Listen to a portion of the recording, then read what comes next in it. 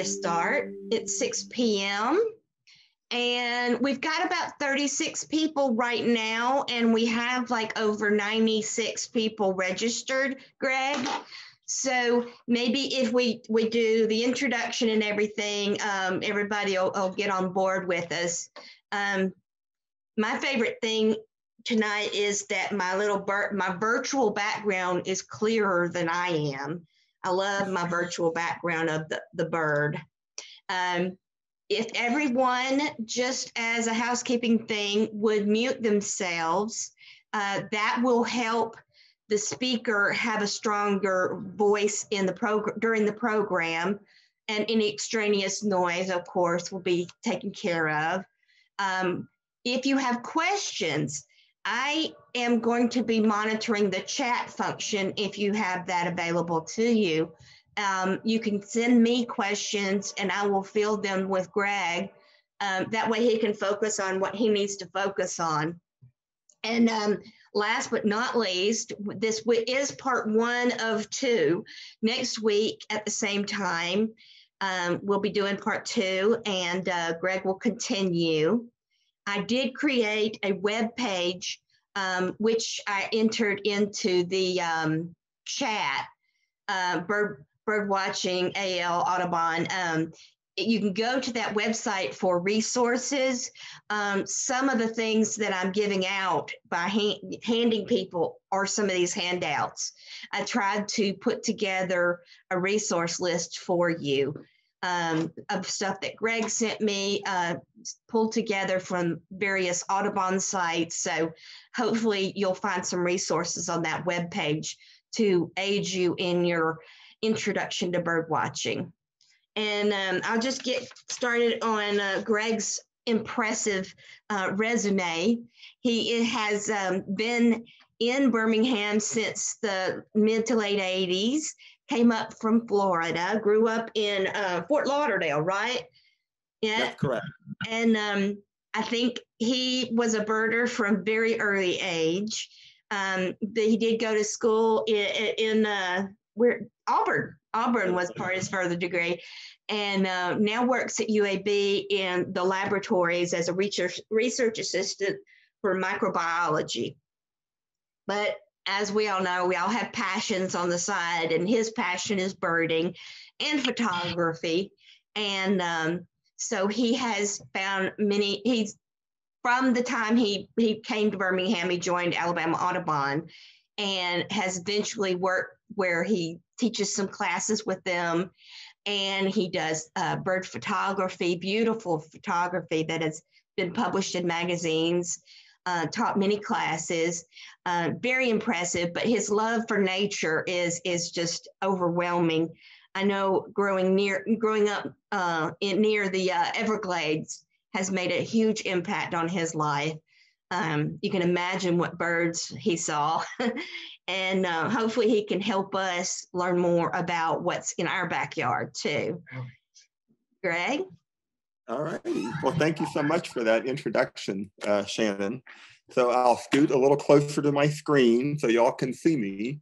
And um, what I'm uh, going to do just between tonight and, and next week, uh, tonight I'll just do a very much a very brief introduction about um, bird binoculars and some resources that you might like to have. And um, I I can't recall if the um, if the handout that I sent it was like an 18 page PDF. So if you receive that, uh, that is just a very brief uh, little. I want to cover that just very briefly tonight, mainly to talk about uh, food items that you could feed, uh, use to feed the birds. Um, that is certainly very generous. Wild Birds Unlimited to to do that. I have always found them to be uh, just a great resource and a huge help to uh, in helping to get the word out about birds and birding. Um, I I don't have any bird feeders here where I live at my apartment because we have two cats that have kind of adopted our backyard, our back patio, and so um, being the bird lover that I am, um, I just I, I I used to feed them and I just stopped. When the cats came in, I was like, all right, so maybe when the cats leave, I can I can resume the bird feeding. Um, but I did want to talk a little bit about the the uh, different types of food, and also um, I wanted to talk about binoculars because binoculars are one of those things that you can spend as little or as much as you want on binoculars uh, almost to the point of being like, oh my God, I can't believe you can spend that much on a pair of binoculars.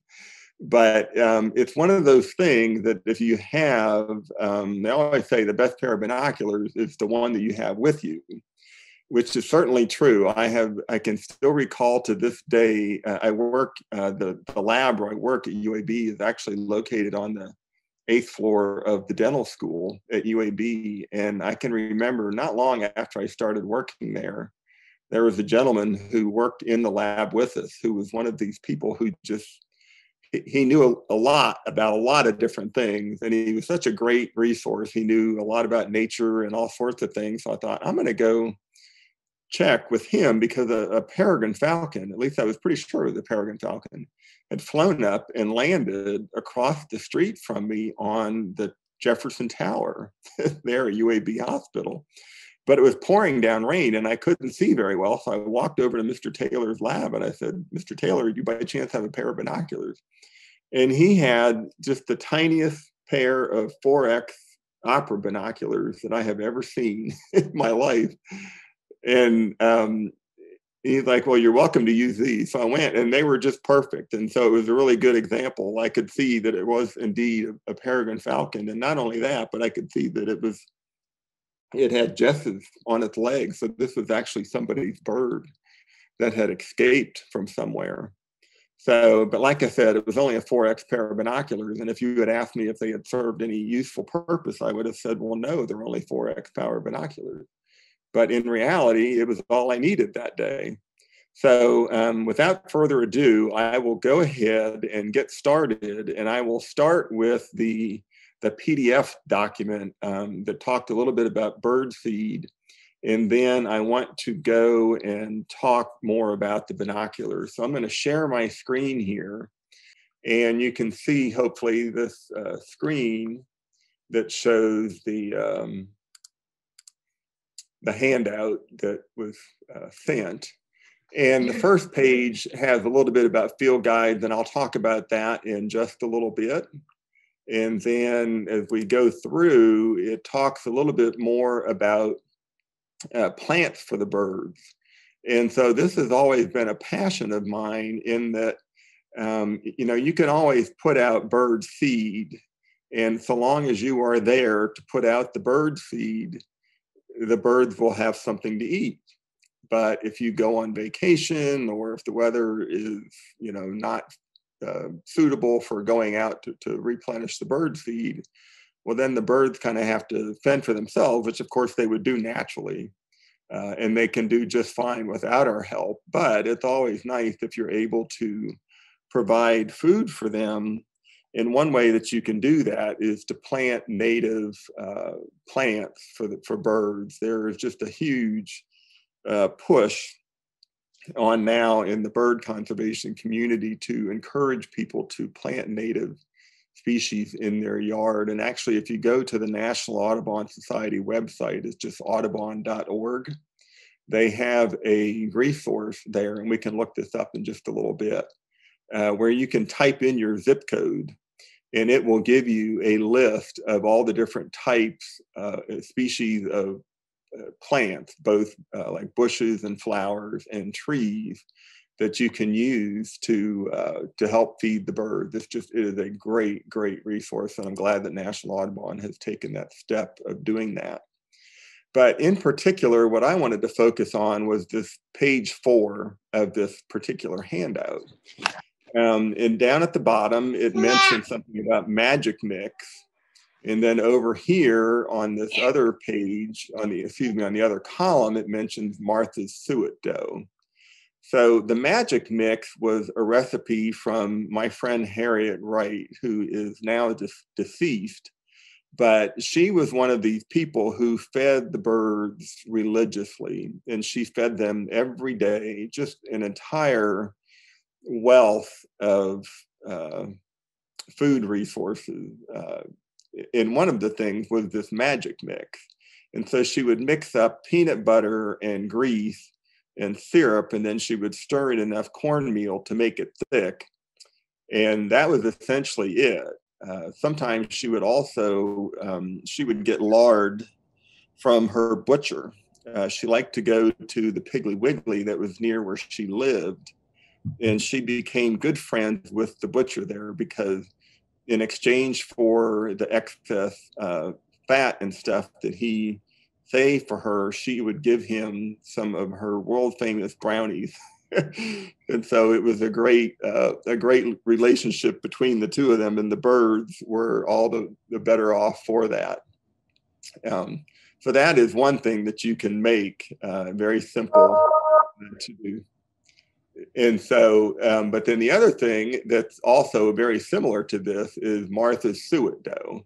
And this is just one cup of lard crunchy peanut butter. You melt it together flour cornmeal and but the idea is that what you're doing is you are providing a high fat uh, resource for birds and as we will see not all birds are necessarily seed eaters so not necessarily all of the birds that you might see in your yard are ones that would necessarily come to your feeder if you are only planting uh, excuse me feeding uh, bird seed.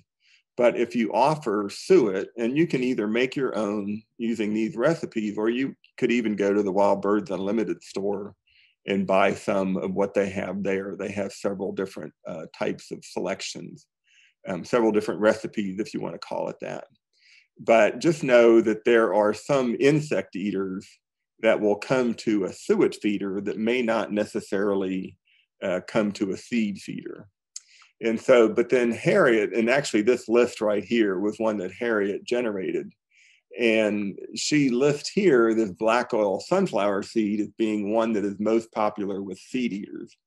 And that, in my experience, is definitely uh, the case. And the reason that is, is because black oil uh, sunflower seeds have the highest fat content of all of the different types of seeds that you can offer.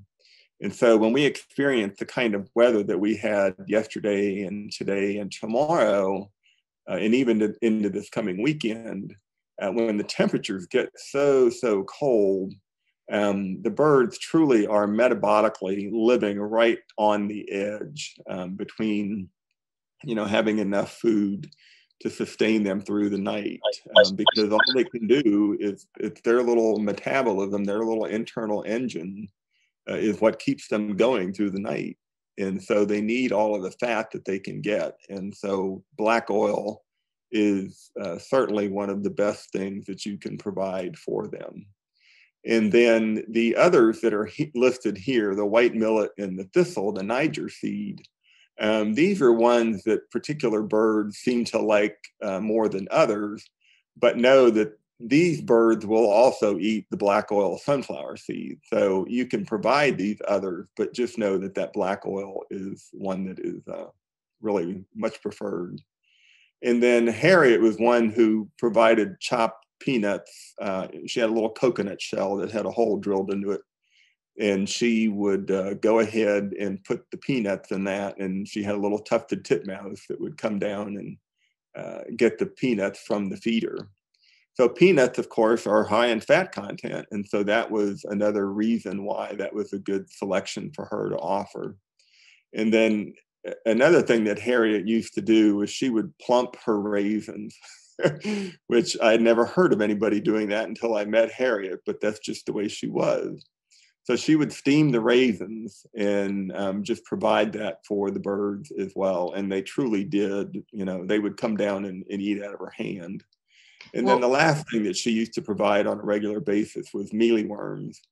And um, so mealyworms, I know from experience, can get kind of expensive just because you they're about it's about ten dollars for a box of about 500 of them, which may seem like a lot, but it actually it, you would go through that fairly quickly. uh, if in my case I was trying to help uh, help along a, a, family of robins last winter that for some reason picked the middle of winter to to nest and raise their young.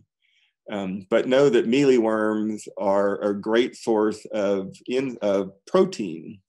And so bluebirds in particular and the chickadees and the titmice come spring, they really do like the mealyworms because uh, and this is true of a lot of birds, they focus on in the spring when they're raising young. It's crucial for the young to have a, enough of uh, protein in their diet to, to uh, proper formation of their feathers and their bones and, and development. And so for that reason, the mealyworms come in very handy in that regard. So that's just, just know that this resource is here uh, if you're looking for some. And then I know also that the handout that um, that Shannon had from the Hoover Public Library has got some great information on it as well. And it does mention the safflower.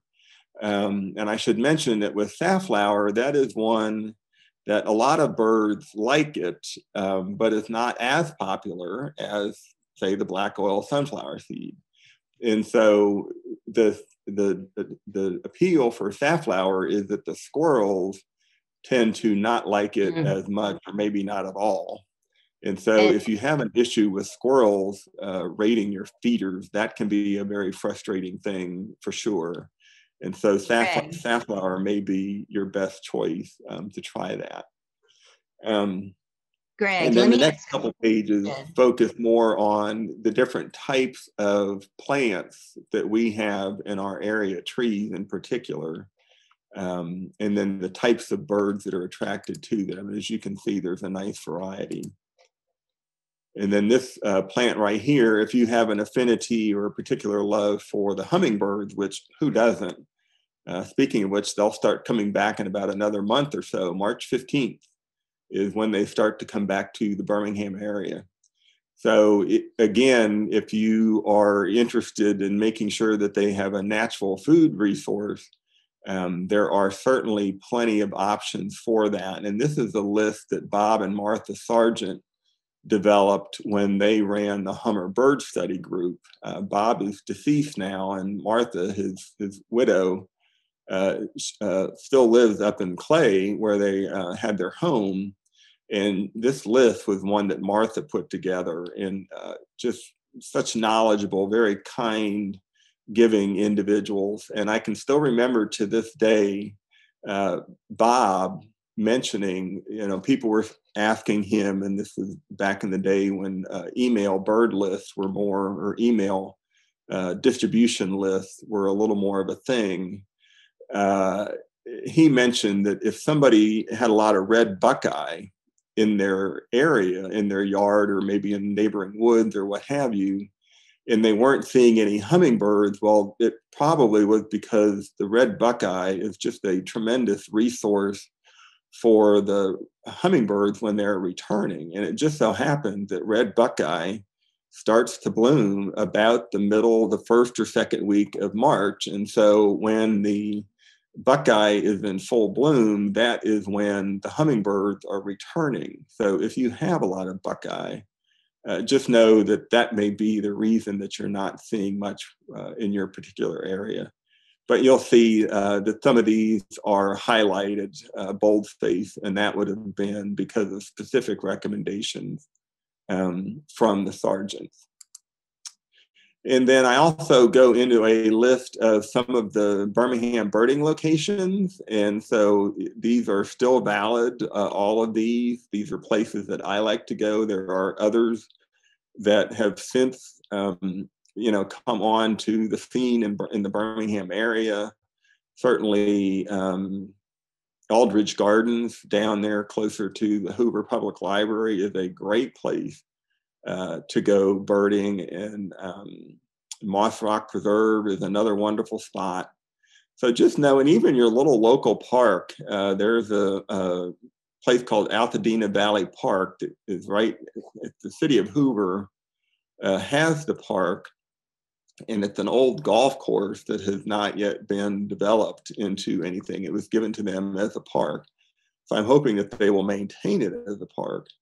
Uh, but there is a homeowner who's in a home overlooks what used to be the one of the main fairways of the golf course, and they've got some feeders out hanging out off their back uh, railing off their at their backyard, and they have a, a, a, female Baltimore Oriole that has stayed the winter with them, and so it really is a good example of when you put up feeders, it's quite possible that you could get something that you might not see otherwise. And so it's a good example of, you know, if you can't get to a park, well, why not make it creative and attractive enough for the birds to come to you? And that's what these homeowners have done. And then in this particular handout here on this page, uh, my friend Helen Kittinger, this is her signature down here at the bottom, uh, she was another wonderful, between her and Harriet, I learned so much about birds. They were such great teachers and very uh, generous with their time, uh, teaching others about birds and bird watching. Um, but um, what, what Helen always used to say was that what brings the birds to your yard is food, water, shelter, and a place to nest. And that is certainly true. And if I personally had to pick one uh, that would almost guarantee that you're going to get birds, that would actually be water, which I know sounds kind of crazy, but you know, birds can go for a little time without finding food, and um, shelter is always great, as is a place to nest. But if you want to get a bird to come to you that you may not see otherwise, having a source of water, and especially if it's a, a, running water, and I've got a slide to illustrate this in just a little bit. But the sound of running water is just an amazing uh, attractant to birds. So just know that if you want to provide these other things, more power to you. But if you really want to go do that extra step, and it doesn't have to be anything fancy, just uh, it, what actually what I have done in, in a pinch is just take an old uh, soda bottle, plastic soda bottle, like a 20 ounce uh, single serving bottle, and just uh, stick a hole in the bottom with a pin. And then you tie off, you put the cap back on, and uh, you just undo the cap just a wee little bit, just enough to let the air pressure through and that little that will start a little drip of water. And you put that over a pan, and voila, you've got some dripping water. And I used to be able to get three or four hours worth of dripping time just from one bottle of water, which was great. Uh, but the other thing that's on this particular handout that I wanted to mention, and we'll cover in more detail in, on this in just a little bit as well, and that is when you when it comes to identifying birds, you want to compare them to ones that you already know. So an American crow, for instance, is probably a familiar size, a familiar bird to you, or an American robin, or perhaps even a sparrow. And so um, these would be good field marks that you could use to compare other birds that you may not know to ones that you are uh, you know that you do know. So it was as big as a house sparrow or it was smaller than a house sparrow. It was the size of a chickadee what have you. And then we also you would want to focus on the color and field marks.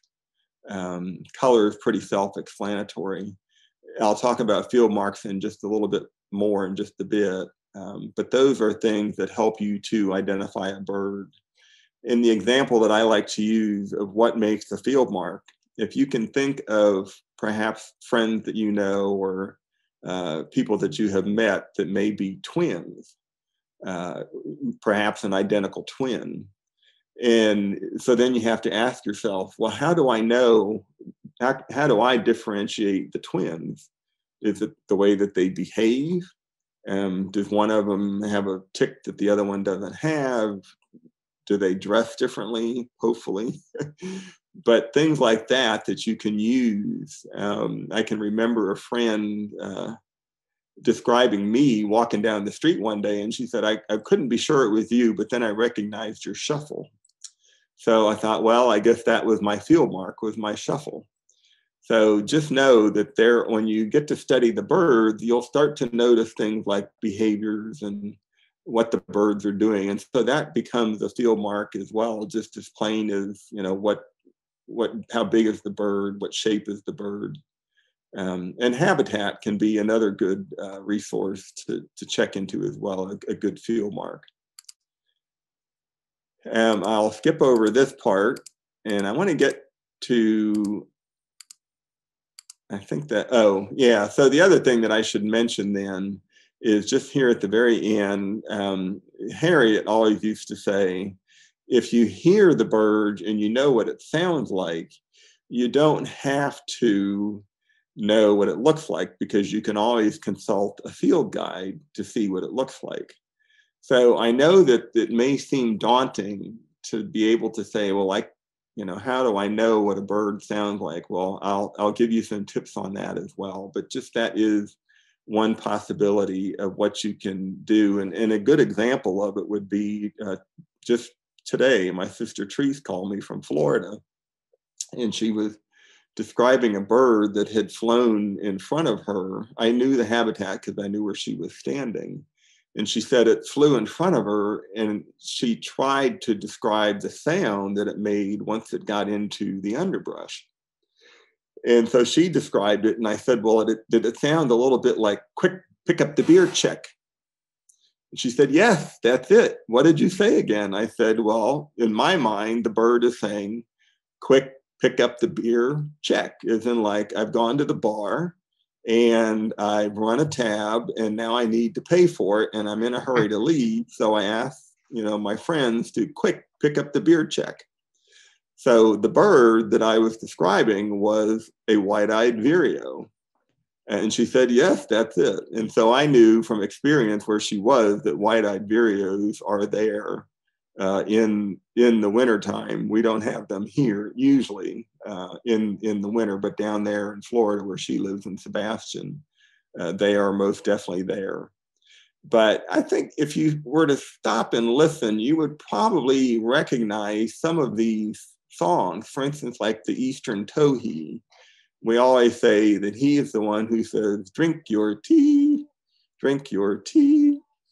And our friend, the Carolina Wren down here at the bottom.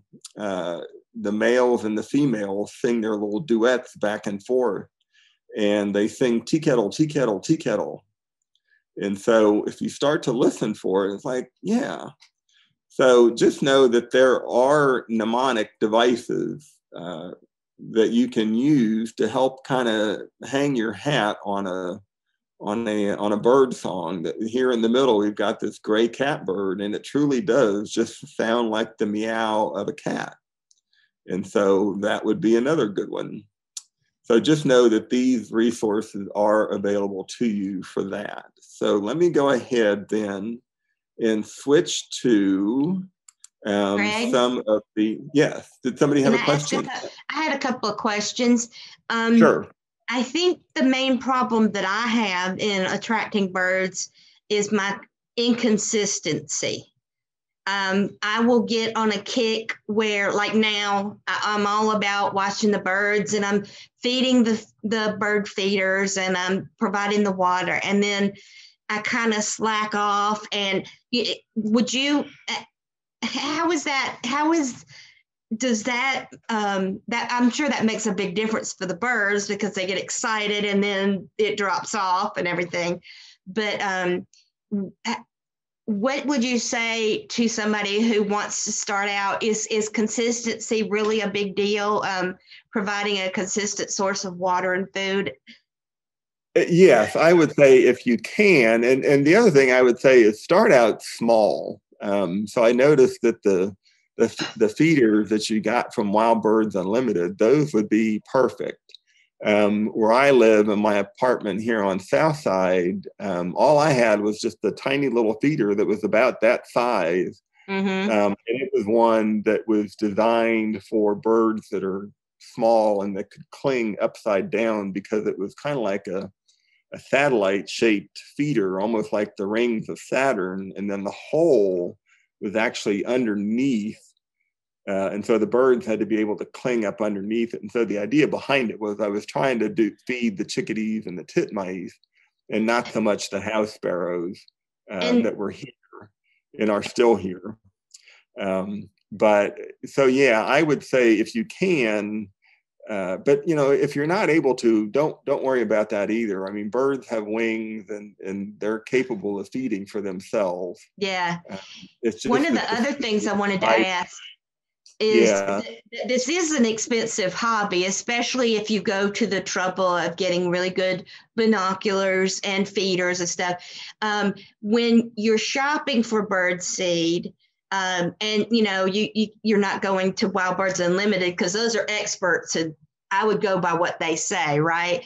But if you're mm-hmm. just looking for bird seeds, say online or whatever, what you, I hear you saying is go for high con- fat content and uh, yeah right and also kind of figure out what's in your area what you know what yeah um that sounds like it what you were saying yeah so i would suggest you know getting the black oil sunflower seed and just buy like a 10 or a 20 pound bag of that and then just go you know kind of go through that and and the other thing to keep in mind is that in the fall uh, there are plenty of natural food sources out there for birds. And so, you know, some people don't even bother trying to feed in the fall just because there are so many uh, natural foods available to the birds. So I wouldn't worry about that so much. Um, and some people just feed in the wintertime. And that's when, you know, especially this time of the year, because a lot of the berries that we had from the uh, from fall and into winter you know the, the birds have been eating on those and so now they're starting to get a little more scarce and so this is when it becomes more crucial uh, if you wanted to, to feed the birds so does that does that help mm-hmm, mm-hmm. okay so one of the things that i wanted to show you was this website that's called um, all about birds it's just allaboutbirds.org uh, and it's run by the Cornell Lab of Ornithology, which is a really, really uh, fabulous organization. It's located at Cornell University, which is in Ithaca, New York. And um, just a great organization. If you want to join the Cornell Lab, uh, you can do that. Um, but what I like about this particular one, it is a great overall resource for birds. And so they have this wonderful illustration of an American robin here. And one of the things, and this is just the page, when I you have to create an account, it's free, uh, but you create an account and you can just type in to their search bar, which is up here, and you just type in. So let's say I want to learn more about robins. So we can't see it on the. Um, no, Greg, you're still. Oh, are you not able to see it? Correct. You're still on your uh, bird mnemonics slide. Oh, okay. So I need to stop this share and maybe go back then. Correct. To, yeah. Yeah. So let me go to this and share this one. Great. Well, thank you for bringing that to my attention because awesome. I, I kept going. So um, again, so it's all about birds, and that's the website. It's just www.allaboutbirds.org and I should mention it's it's there's an S on the end of the bird, so it's all about birds with an S dot org. And what I was saying is you can type in, you go to the search bar, uh, you can click on it here, and when it comes up, you type in. So let's say we want to read about American robins. So here we have this illustration of an American robin. So there's a couple of different things up at the top. You can read the overview, a little bit of ID information, which would be field marks about their life history, maps, and then sounds. So I don't know if what I'm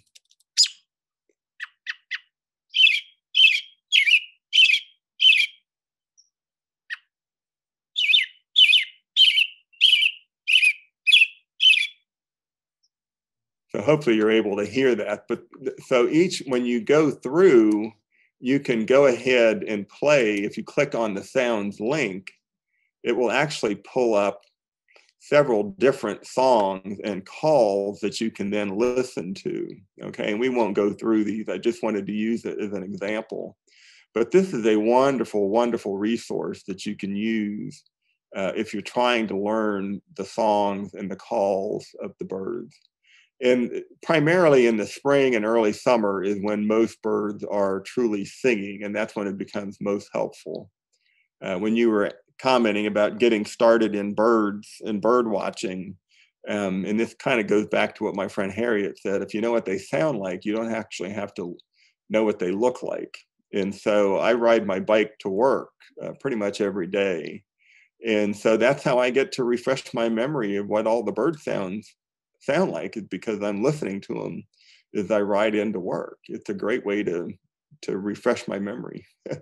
but if you click on the different links, it will show you um, the information about the bird. So here we have the American robin. It tells you their habitat, what their food, uh, nesting, behavior, and even their conservation status. And then it will also show you what their range map looks like. Uh, but that's also something if you click on the maps link, it brings up a little bit larger image. And so when you look at the map, you'll see that it actually shows um, like three different colors. So we've got the light blue is winter, and this orange red is where they occur in breeding season. And then the purple is year round. So as you see where we are here in Alabama, robins are year-round birds for us. So even though people say, "Oh, spring must be here because you know the robins are coming back," well, you can tell you and all your friends that the robins never left. So for people up north, yeah, I guess they truly are our first sign of spring. But for us, they never really left. And then, um, so the other thing that I just wanted to point out is the ID information and so when you go through this, it will talk to you about field marks, um, what to look for in the birds. And life history is more of the same about the habitat, a little detail, more detailed explanation about their habitat, food, that sort of thing, eggs, uh, nesting behavior, all of that information is found on this particular page. It is a great, great, great free resource. And I can't emphasize that part enough. And then the other thing that I just wanted to point out to you that there is a website that Cornell also runs called the Cornell Lab of Ornithology eBird. And so eBird is a bit of a citizen science project that you can do uh, where you submit your your information, your observations uh, for, for whatever whatever area, whether it's your yard or a city park or wherever you go. Um, and so this is a really it adds a new dimension to your birding uh, if you want to do that. Um, so I would encourage you to explore that possibility as well. And so with that, I will temporarily stop sharing my screen because what I wanted to do was to show you um, some field uh, field uh, guides. And so I mentioned earlier that um, you know if you know what the birds sound like, you don't have to know what they look like. But what if you do want to know what they look like? And so there's a couple that I can recommend, and these are sort of a continuation. I'll hold this up closer. Um, but this is the Sibley Guide to Birds. And so this is probably the one that I most recommend. Um, and I should mention that there are actually two. So there's this really giant, it's what, we, what I call the Big Sibley. And it's a, it's a thick book. When you look at it, it's quite thick compared to the smaller one. And so, and then here they are size wise. I don't want to lose my uh, I've got the same green screen problem, but they are two different sizes. And so this one, the Eastern guide, so the Sibley comes in the big Sibley that has all the birds of North America. And there's about 990 species of birds that occur in North America. And then the Eastern guide, which is what this one is, covers just the birds that occur essentially east of the Mississippi River. Actually, I think the dividing line might be the Rocky Mountains. And so the reason I recommend this is because there's approximately 450 species of birds that have been reported in Alabama. okay, over all time, all records.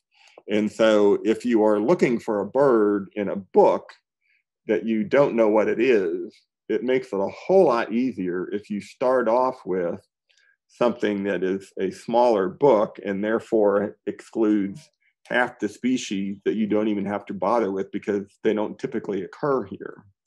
So that would be, this would be my recommendation for that. If you do want to get a guide that is um, covers all of the birds of North America, but isn't quite as big as the Big Sibley, there is this National Geographic guide. And so I think it is now in the seventh edition. Uh, and it is one, it's, it's a great resource. I use it just as much as I use the Sibley, uh, mainly because it has, they both have similar information, but sometimes the illustration in one, if you're looking at a bird that you're not quite sure of, it helps to have more than one person's interpretation of what the bird looks like. And so that's the other thing that brings up about with these guides. David Sibley, he is the gentleman who drew all of the illustrations in this particular book. So he's very consistent with his illustrations.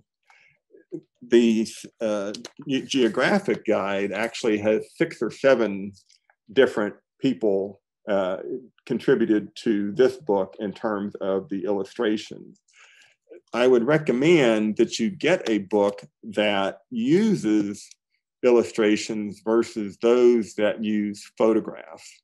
And the reason that is, is because um, you know it could very well be that a bird that you're looking at is just an atypical version of a common bird, or maybe it's in a pose that is not something uh, that maybe you're accustomed to seeing or what have you but just know that somebody who is putting together an editor who was looking to put together a, a field guide that uses photographs he's having to make a judgment call. Hopefully he's looking through hundreds of them just to pick the one or two photos that are going to go into the book that you hope illustrates the typical bird uh, of what you'd expect. And so, what David Sibley is able to do is that he's able to look at all these birds, he's studying the skins, the specimens, and he can pose them in such a way that you can see all of the appropriate field marks. And in a photograph, you may not have that luxury. The other thing that I would caution you about buying a guide is that you not buy one that organizes the birds by color. Uh, and the reason that is is because there's it doesn't do anything in terms of helping you to understand the relationship between birds. And let's say, for instance, you're looking at a male cardinal versus a female cardinal. Uh, male cardinals are bright, bright red with a black mask, and female cardinals are brown. So if you're looking at the female cardinal, you know, and if they don't have that illustrated very well in the guide and they're showing you the male cardinal instead, well, no, the bird I saw was brown and this one's red. Well, that doesn't do you any favors. So just know that if you had to pick one or the other, I would pick one that uses illustrations. And I like I like the Sibley guide in particular because um, let me see if I can, yeah. So I don't know if you can see this very well but what he does is that he uses no. little arrows. Green screen. yeah. So green screen goes yeah, through so Unfortunately, it's a tiny little. Well, uh, yeah. So oh, uh, it's green screening, right? Okay, yeah. Could, uh, not, it's no. not helping at all. So anyhow, so what uh, what I need to do is hold it in front of me. But what they're what he does in the illustration is that um, he will point to a particular field mark. So let's just say we were trying to identify Greg from a distance, and we know that Greg has hazel eyes. So what he would do is put an arrow on that points to the color of my eyes as being a field mark that you could use for Greg. Um, and one kind of a funny aside, years ago we had an Audubon trip that went to went through Carrollton, Alabama, And if you've ever been to Carrollton, the, the county courthouse there has got a giant, there's a, the, the history or the lore of the place is that a man was hung, uh, hanged, whatever, in the up in the attic of the of the courthouse, and supposedly his face is in the courthouse window, the outline of his face. And I guess the people there at the county courthouse finally decided they'd had enough people asking which window is it that what they did was that they painted a giant arrow on the side of the building that pointed to the window it's like okay so this is carrollton uh, field guide to courthouse windows uh, but that's what the purpose of the of the of the pointer is to point out the field mark that is most pertinent to what you need to know. And then I did want to take just a couple minutes to go over uh, binoculars. So, as I mentioned at the outset, with binoculars, you can spend as much or as little as you want. On you can spend fifty dollars, you can spend three thousand dollars.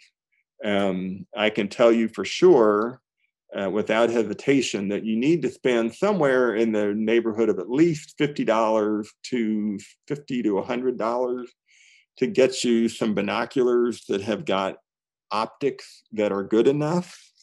And if you read through the guide that I sent um, earlier, there's lots and lots of information on there. But with binoculars, um, and I've got two examples here.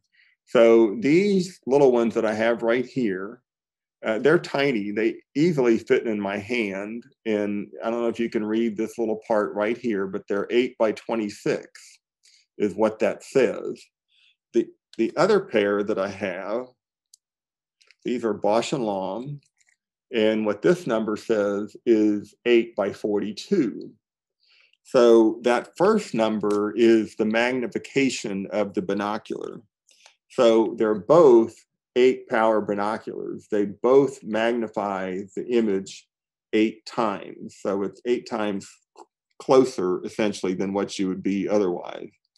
The other number, the, the bigger number is this distance right here. This is the objective lens that number, that uh, diameter measured in millimeters. So in this case, this is 8 by 26. So this distance right here is 26 millimeters. Okay. On my uh, Bausch and Lomb, if you look at those, this distance right here, this is 8 by 42. So this is 42 millimeters.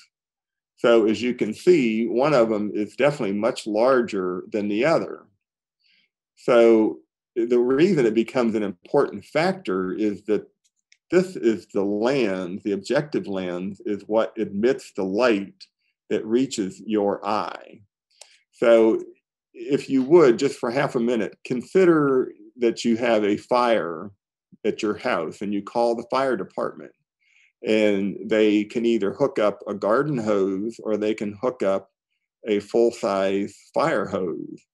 Well, clearly you would want to use the fire hose because that has more water, the capacity to pass more water through the hose. Well, it's no different with with your binoculars. So this right here is a much more uh, light is able to enter than it is on this one, which is not to say that they're not good binoculars. They're both good binoculars.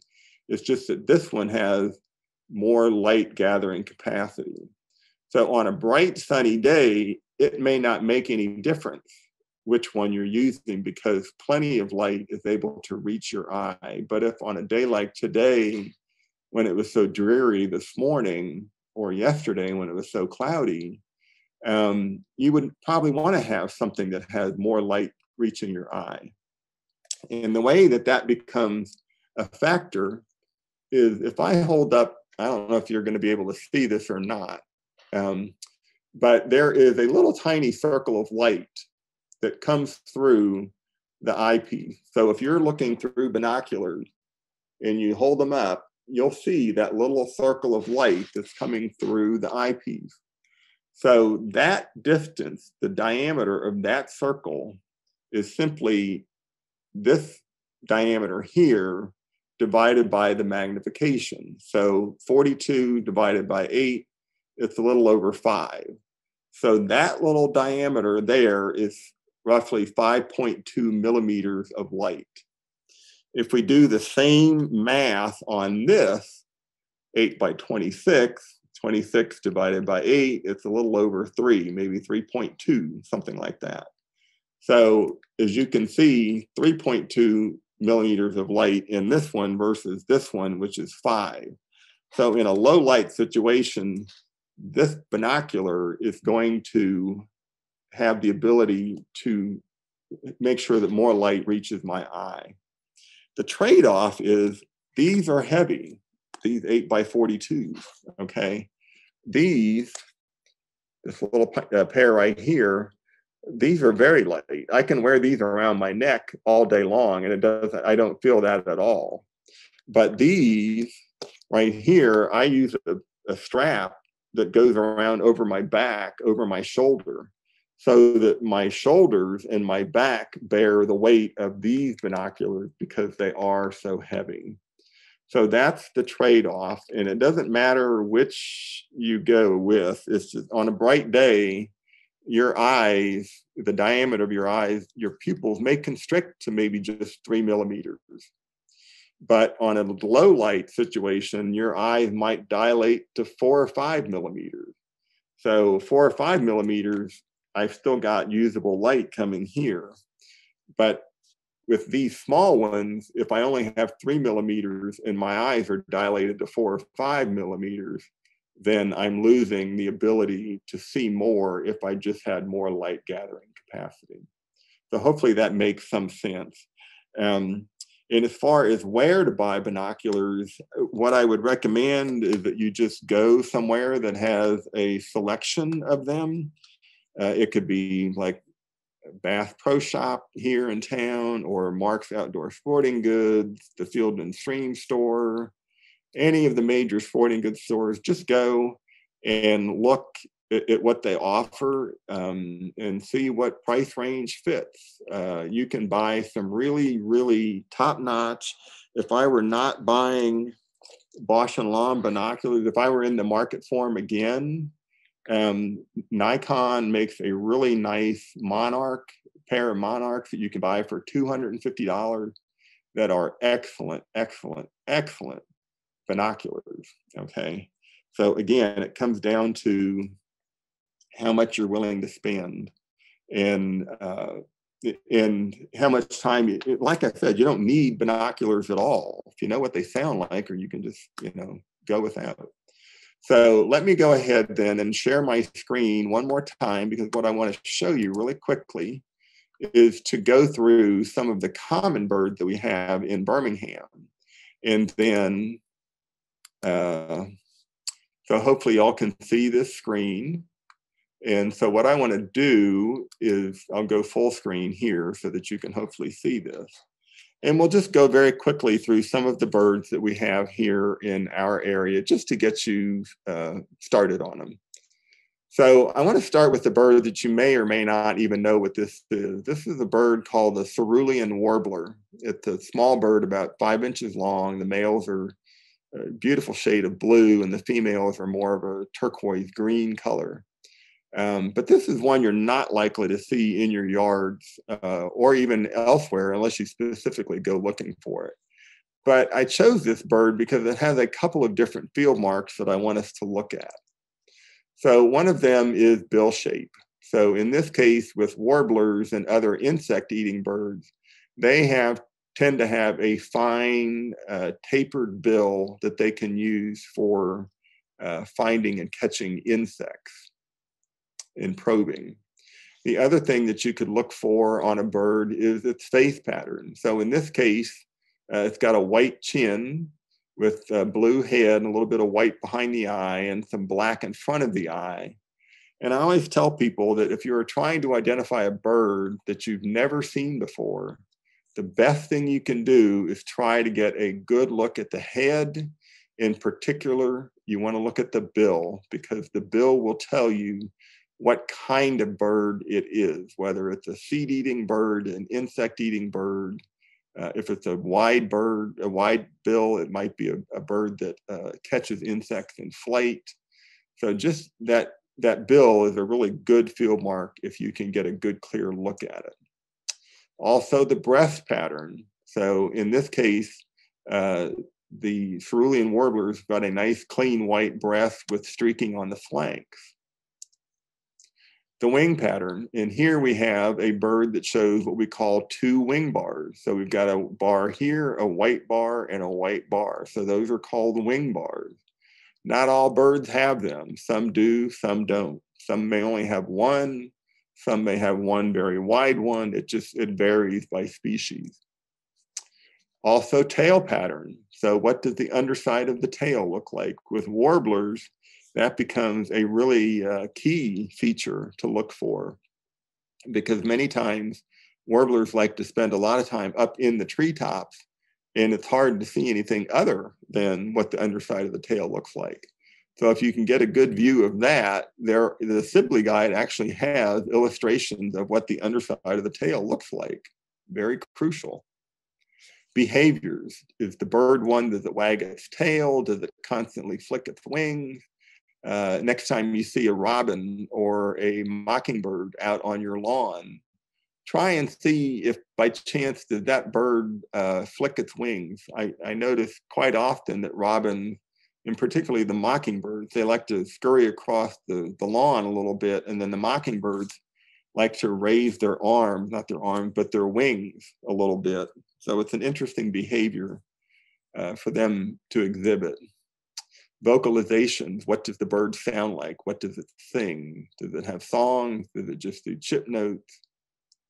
And then lastly we identified this as a male cerulean warbler.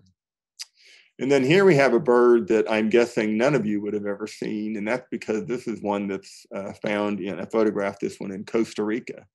But the reason i put this in here is because since it is a bird that we've never seen before let's take a look at it I said, we want to look at the bill. So this has got a little bit of a thicker bill than that warbler did. So you might say, well, thicker bills, those are the ones that birds that like to eat seeds have thick bills. If you think of cardinals or some of the sparrows that you might see at your feeders, the finches, they have to have uh, tend to have cone-shaped bills. So this bird has a cone-shaped bill.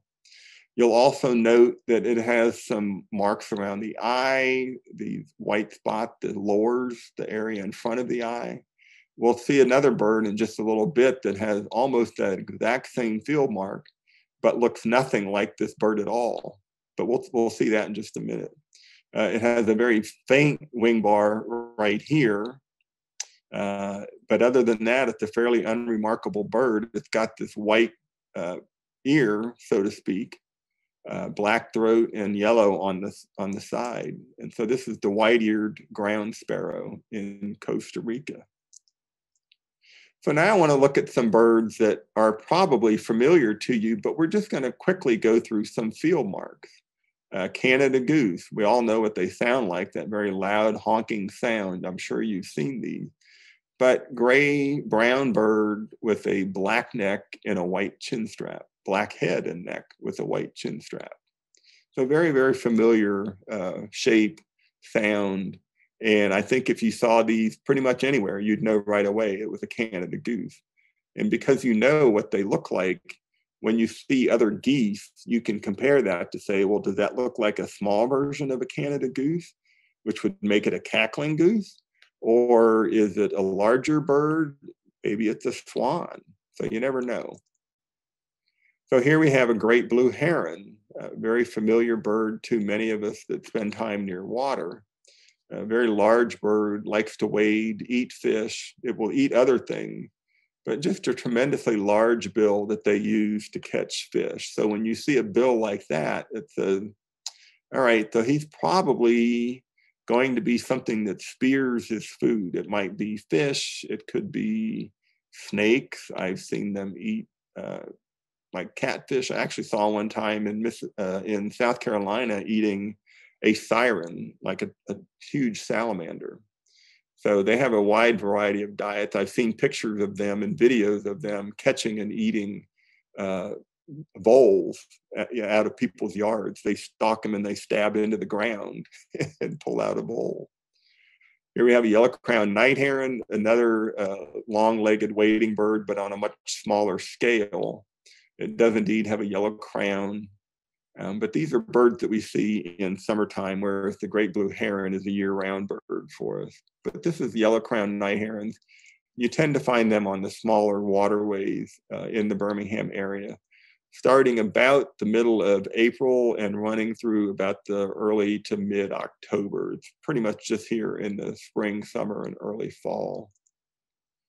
And then we have Cooper's hawks and other hawks in our area. So the Cooper's hawk is, is a type of bird that's called an accipiter uh, that eats other birds that specialize uh, in catching other birds in flight in particular. And so this is one that you might see. They have a long tail that they use like a rudder and relatively short rounded wings that they're used, uh, able to uh, maneuver very quickly and efficiently chasing other birds. And then here we have a red-tailed hawk, which is probably our most common hawk in Alabama, especially in the wintertime. Uh, and the field mark on them, if it weren't for this cross beam right here, this is the bird I photographed at Railroad Park, but they always show a belly band. Sometimes it's a little more distinct, sometimes it can be pretty faint, but this is a field mark that you'll always see on a red-tailed hawk, and that's the belly band. And some of our birds that we have, we have at nighttime. So we have barred owls in Alabama. This is the time of the year actually that they are uh, breeding. And so they're very vocal now. This is the bird that does the who cooks for you, who cooks for you all. So I'll see if I can do my my best imitation of the whoa, whoa, whoa, whoa, whoa, whoa, whoa. So that's a little bit of a what they sound like and they're probably the owl that is the most active in the daytime. So, of, of, all the owls that we have, this is the one that you would most likely see and or hear uh, in the daytime. It's also one that responds pretty readily to uh, even just a poor imitation of their call. So, if you think you have one, you could try doing that call and see if you get a response in return but that's the barred owl. We have four owls that are pretty much here year round in Alabama that you're most likely to. There's a few others, um, but those are the ones: the barred owl, the great horned owl, the eastern screech owl, and the barn owl. Those are the four that you would most likely encounter. Uh, mourning dove is a very, very familiar bird, I'm sure, to many of you, even if you didn't know what it was. And this is one that a lot of people, when they hear it, they think they're actually hearing an owl. And so it has a very soft cooing sound that it makes.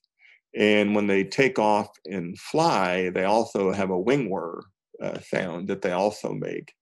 Uh, but just a very familiar bird, um, long pointed tail, uh, just a beautiful shade of pale brown. And if you see them in uh, breeding colors, they have this bright powder blue eye ring. And so if you see that ring around the eye, that is what we would call a field mark as well. Does it have an eye ring or not? So this is a good example of a bird that has an eye ring.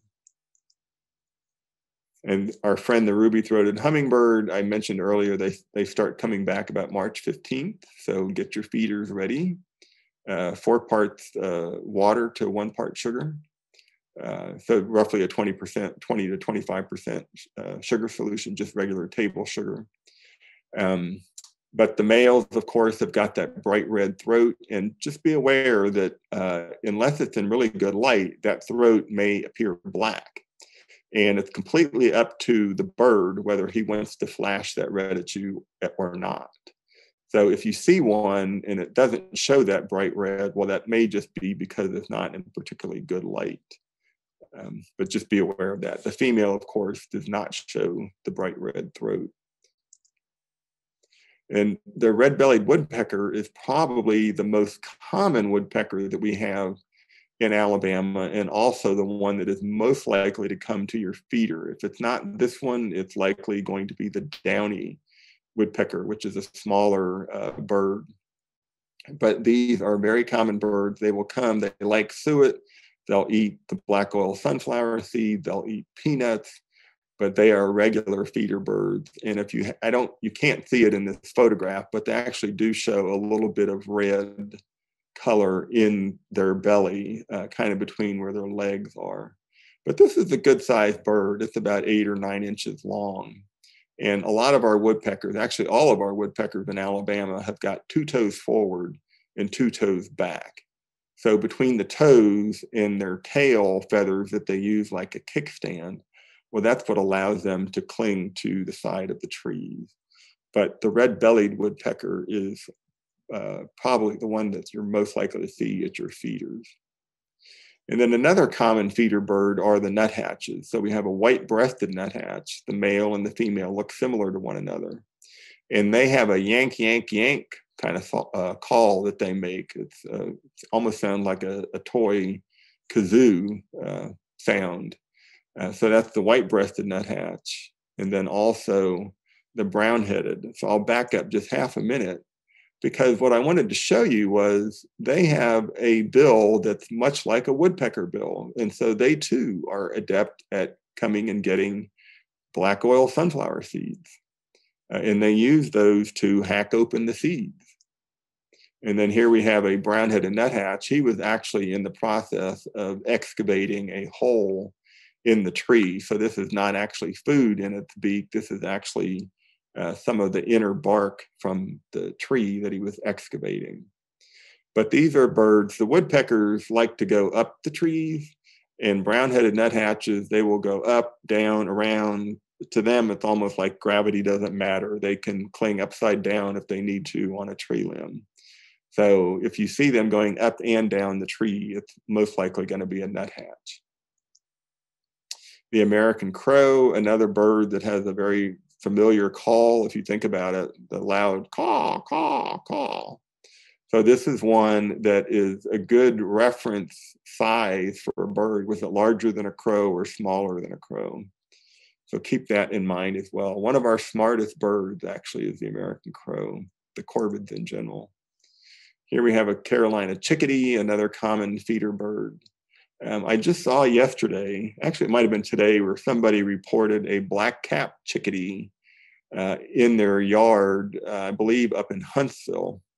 And so, uh, actually, what they should have said was that they had a Carolina chickadee because the black cap chickadee is one that's not found in Alabama, but they look almost identical to each other. The difference is the amount of white in the wing and then the fact that they sound a little bit different. So, chances are, if that person had heard the chickadee that was calling in their yard, they would have said, oh, yeah, that's the Carolina chickadee and not the black cap chickadee. But just the tiny little bird, these guys, how they manage to stay awake and alive on cold, cold nights, I just, I never know. But they, they puff themselves out and they have such an incredibly efficient uh, energy metabolism And as long as they can get that food, they're good. As long as they're healthy, they're good and they use this little beak. It's not so much a beak like a uh, nuthatch, but it's very efficient at opening the seeds as well. Here's our friend, the Carolina wren. If you have a bird that will nest just about anywhere in your yard, in your house, I had a friend who had one nest in his bathroom. One day he left his back door open and the bird found that the bathroom just down the hallway was a great place to build the nest. And so, in the span of a couple hours, it built a nest in his bathroom. And his question to me was, "What do I do?" And I said, "Well, Richard, if you can, if you can prop open a a window in the bathroom, if you have a window, the bird will figure that out." And so that was the, the consolation between was that he was able to close his back door and prop open the, the bathroom window and the bird just came and went that way. But these birds love spiders. And if you look at that bill you could see well i can understand where he would use that bill to go after the spiders so a, a good case of form dictates function and function dictates the form so to speak but the male and the female look very similar to one another. They do sound a little bit different. If, if you really want to get to know them, that's one way that you can familiarize yourself with the calls of the males and the females and listening to them uh, duetting back and forth. But very familiar bird. I just love them to death. They're so loud and they're so energetic. They just, they always pick me up whenever I see one. Uh, Eastern bluebird is another one that will readily, it will come and to a, not so much to a like a seed feeder, but they love mealyworms and they will come to a suet feeder uh, as well, but not so much seed. If you really want to attract these birds, what you need to do is put up a bluebird house. And so you could uh, research online about how to build one, or you could buy your own, but just make sure that it is a bluebird house because they need to have very specific uh, dimensions to help keep out the other birds and to encourage the bluebirds. But this is the time of the year. Now is when they are certainly checking out all the available nest sites. So if you want to attract bluebirds, uh, get that bluebird box up just as soon as you can. And so here's our friend, the familiar uh, American robin. And you, you, recall when I was talking to you about the white-eared ground sparrow. So here we have that same pattern, a dark head with white eye arc below the eye, above the eye, and then the white mark, the white lores in front of the eye.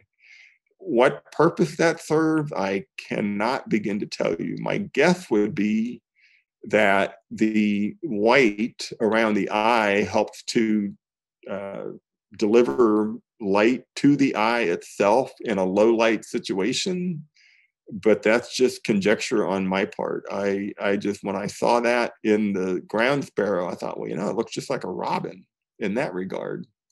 Uh, so that, I, I found that to be kind of curious, and you know that's the nice thing about birds. That when you look at them, you just you, you can never know enough about them. But certainly the familiar robin redbreast with uh, unmarked play, uh, plain gray black back uh, is just a field marked, very familiar bird all across the entire continent. Everybody knows what a robin looks like.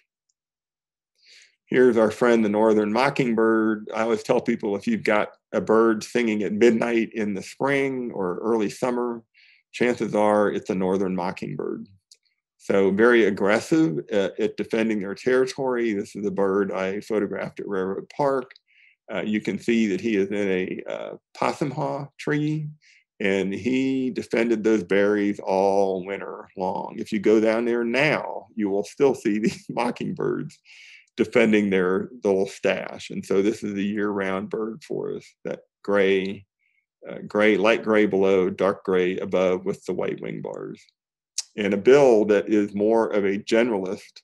So he will eat insects, but he'll also eat suet. He'll eat berries he truly is an omnivore. He will eat just about anything he can catch. The eastern towhee, you look at that bill like that, and that tells you right away, I am a seed eating bird. There's no other use for a bill like that. It is a seed eating bill. The female looks very similar. Actually, I think I have the female. Yeah. So, where the male is black and rufous and white, the female is brown and rufous and white. But these are a type of sparrow. They spend a lot of time on the ground scratching for food. The familiar uh, northern cardinal, this is the male and the female. So the male is just this bright, bright red all over with the black mask. And the female also has the dark mask and the brown, uh, she's brown where the male is red. And when you look at that mask, you might wonder, well, what purpose? Why, why wasn't the entire bird just red? And perhaps the reason is that black around the eyes helps to cut the glare. And so for birds that spend a lot of time in the sun, they have black around the eye because it helps to cut the glare. So if you think of uh, football players that spend a lot of time, they have to be able to see the ball. So quarterbacks and wide receivers put that tar pitch under their eye to help cut the glare. So that's what that uh, black serves. So when you see these great football players, just know that they're emulating the birds when they put on that tar pitch. So we've already talked a little bit about the bird seed, so I won't spend a whole lot of time on it, but just know that uh, this is my parents' house in Florida, and they always had a selection of uh, seed feeders as well as a suet cake that's hanging up here. So different types of seeds will bring in different types of birds. But again, that black oil is by far the best choice overall. And so in addition to the food, there's plenty of nearby shelter. So whenever the hawks, uh, the Cooper's hawks or the red tail, not so much the red tail, but the Cooper's hawk, they love to come by and see if they could snag a bird at the feeder. So if you're going to put a feeder up, it really is appropriate for you to have a brush pile nearby or some a bush or what have you, some place where the birds can escape in a moment's notice. Oh, I didn't think about that. So um, the other thing I wanted to mention was water. So here is our uh, female uh, cardinal. She's sitting in water. And what you don't see just out of the picture is one of those water drippers that's dripping water. And so in this case, it was actually hooked up to a hose that we were able to just leave running because we were on a well down there. Uh, so that may not be a feature, an option for where you are. But just that sound of the dripping water is a huge magnet for birds. So the water is good for drinking and for bathing, which both birds need to do. Uh, and I'll look, just look at a, I'll wind up with a few uh, wintertime uh, birds that we have here in winter. And we have a yellow-bellied sapsucker, which is another type of woodpecker that actually specializes in drilling these holes that you see. Here's another shot. So when you see these holes in the sides of the trees, that is the handiwork of this bird right here. And so they they drill the holes and then they will come back. And if you look, you can see a little bit of this glistening that's in the bottom. And so that's the sap of the tree itself. And so they come back and they will either drink the sap or they will eat the insects that are attracted to the sap but that's the purpose. And other birds will also do that as well. Cedar waxwing is just one of the more beautiful birds that we have here in the uh, wintertime. Just this beautiful pale yellow with this buff colored back and this very striking black uh, through the eye. Just an incredible bird. It travels in huge roving flocks. Primarily, we have them here in the wintertime, though one of my favorite tiny little birds, hyperactive ruby crown kinglet. You can see just a little bit of the ruby red crown up here. Sometimes they don't show a lot of it, but when you look at it, tiny bird, you look at that little tiny beak, very pointed, ideal for catching insects. So that's the ruby crown kinglet. Here we have a yellow-rumped warbler, which is uh, one that's a very abundant bird in the wintertime and it's actually eating some wax myrtle berries. This was at Railroad Park uh, back just in this past October. Uh, and the, the wax myrtle trees were covered. I mean, they were just loaded with berries. And as a result, there were myrtle warblers everywhere. If you go there now, there are hardly any berries. And as a result, the yellow rumped, the myrtle warblers have since moved on. But this is a great example of a providing food for the birds, and you don't even have to give them the food other than plant the wax myrtle shrubs. White-throated sparrow, a very, very common bird in your yard. If you look for that white throat, has the yellow lores, very common, uh, has a song that sounds a little bit like old Sam Peabody, Peabody, Peabody just a beautiful musical uh, trill that it sings. But that's the white-throated sparrow. Savannah sparrow is more uh, found in open terrain, so not so much a yard bird, but uh, open pasture is where you would find them. And again, when you see these bills for all of these birds, so here we have a warbler that has that fine warbler bill, and yet it's eating the wax myrtles. Well, it changes its diet in the wintertime. But the sparrows are definitely seed eaters. So when you see that cone-shaped bill, you should be thinking seed eater. And here's another one, the chipping sparrow. as you can see in this photograph, there's a lot of pine needles. And so I often associate chipping sparrows with areas that have pine trees and hardwoods, but they do spend a lot of time on the ground. And I'll wind up with just a few slides of some birds that you might see at your feeders.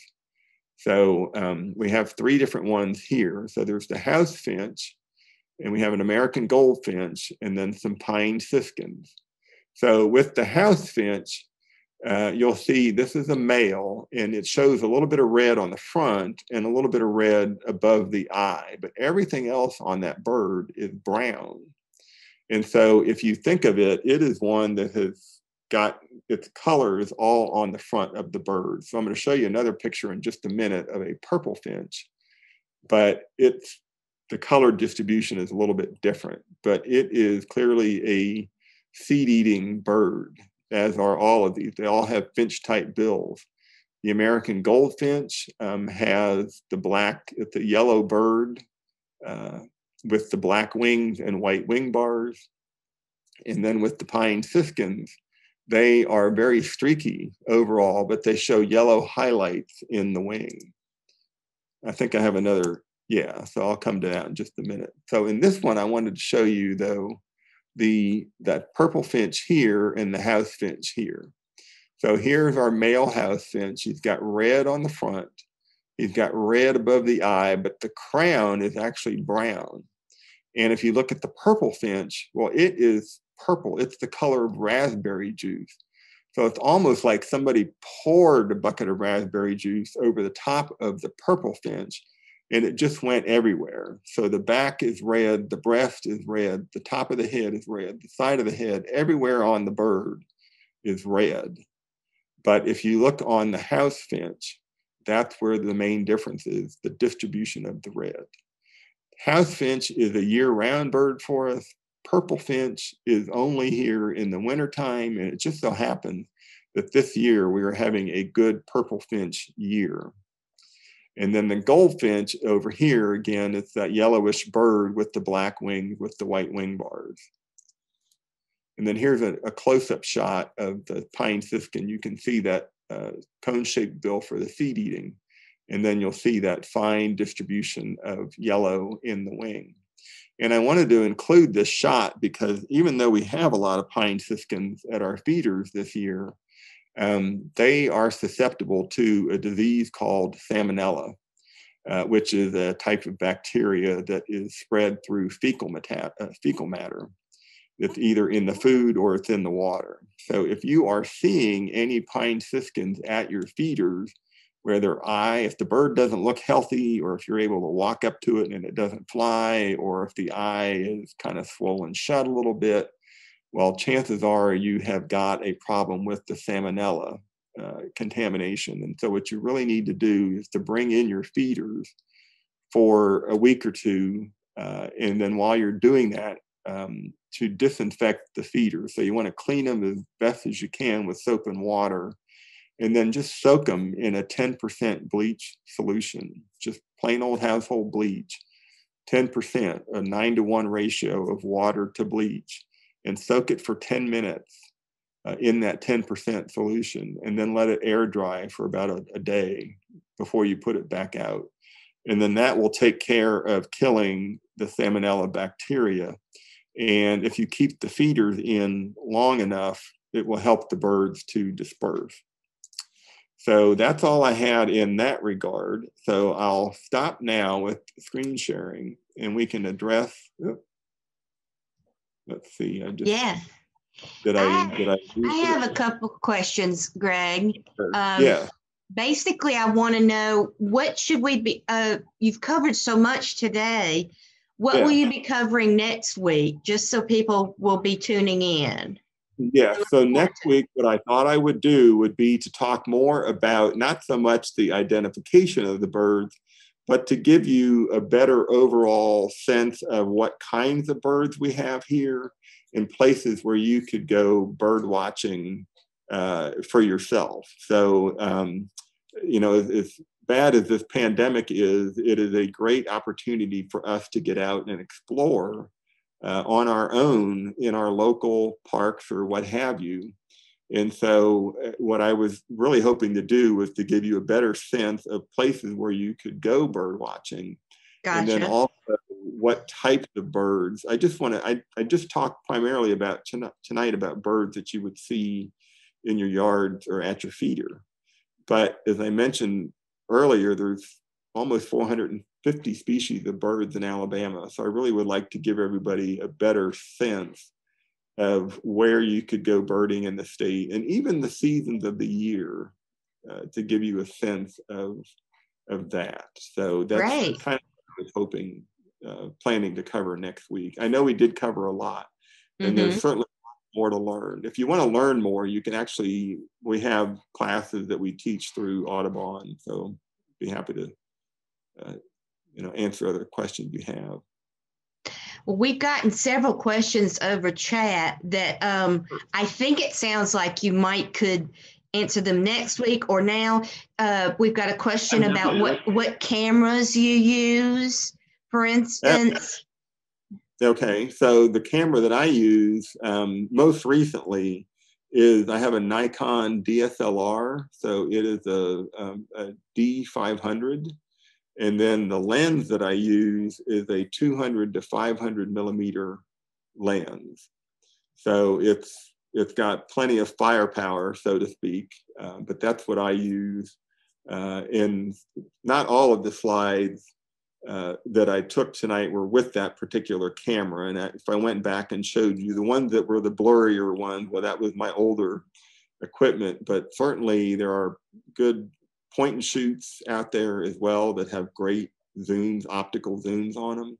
Mhm. Uh, about the DSLR is it allows you a little more custom customizing of the settings. Uh, if you like a shallow depth of field, for instance, or you know what have blur the background or you know whatever. Um, So I did. other- I'm sorry. I, I was just say what other questions were there? I guess I could. Uh, yeah. Yeah, my I also wanted to point out, didn't this week start the national back, backyard bird count? Uh, yeah, so this past weekend was the Great Backyard Bird Count that is a joint effort between National Audubon and the Cornell Lab of Ornithology. And so it, it started last Friday and it uh, wound up yesterday. So technically Ah. it's over. But uh, the nice thing about uh, that, if that's something that is of interest to you, that eBird that I showed you earlier, it's the same database. And I saw something the other day that they just logged their one billionth data point, uh, data entry uh, for eBird. That's how many different settings. And the nice thing about that eBird is that, you know, if you've got children or grandchildren, um, it, it, gives you an opportunity to talk about science and collecting data and the value of doing that kind of thing. And it's, it's fun. I mean, who doesn't love bird watching? No matter Yeah. where you go in the world, there's going to be birds. So when you submit your data, your sightings into eBird, it becomes a permanent record of where you saw, you know, when did I, when was the first time I saw robin? Well, according to eBird, you know, it was in the backyard two years ago on such and such day or whatever. Now, And if you how is eBird? Uh, is that for your phone? Is that also uh, like Merlin, the app that you can put on your phone? Okay, so with eBird, it you can either use there's an, an application that will work on your phone, or it, it- like I showed you earlier, the website. The website is a little more versatile than the phone application is. And I'm glad you mentioned that because there are apps, that Sibley guide that I showed you earlier, this one here. Mhm. So um, this comes as an as an app as well. So you can, I think it's like twenty nine dollars, and you can pay for it, or you can get the Merlin app. You can go to the Audubon website. They have a free bird identification app, as does the Cornell Lab of Ornithology has a free bird identification app. And it's great because it's got the sounds, the pictures, the range maps, all of that information is in there. The downside of the app is it doesn't lend itself to flipping between okay i've got i've narrowed my bird down to these two and you know was it a mockingbird or was it a loggerhead shrike? Uh, you know i need to look at them and so you want to flip back and forth between the two pages. So with an app it's not quite as convenient but the apps really are fantastic tool. The one caveat that i would mention and it, it really is not so much this time of the year, but in the spring when the birds are nesting and breeding, um, when they sing, that's the male's way of saying to other males, this is my territory, you need to stay away. And they will defend ter- you know, terrifically their, their territory. It's also the way to attract a mate. So when you hear about people that, oh, they've got an app and they played the sound of the Carolina wren and it showed up immediately and it came and it, you know, it was looking for them. And so, well, if you've got a bird that is responding to your app, that means it's not paying attention to what it should be doing if you weren't there. So it's not gathering food for its young, it's paying attention to who is the intruder. So those are the things you have to be aware of. And I, I can't emphasize that enough. I see people that I respect highly for their birding skills who think nothing of going out in the middle of you know spring and early summer. And because they want to see a bird they will sit there and play the song until the male comes to them. It just it infuriates me because they know better. And so just be aware of that. It's a great yes. tool but just be aware of that.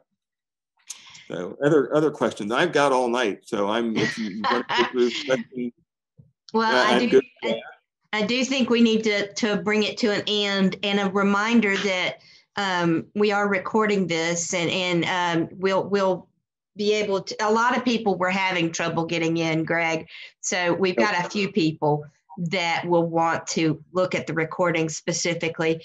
But um, I'm glad you went over what we're going to cover next week, and and You've given us a lot of stuff to study. Most of what you've referred to, like I said, is is available on that um, hooverlibrary.org slash bird watching. It's along, it's in the chat.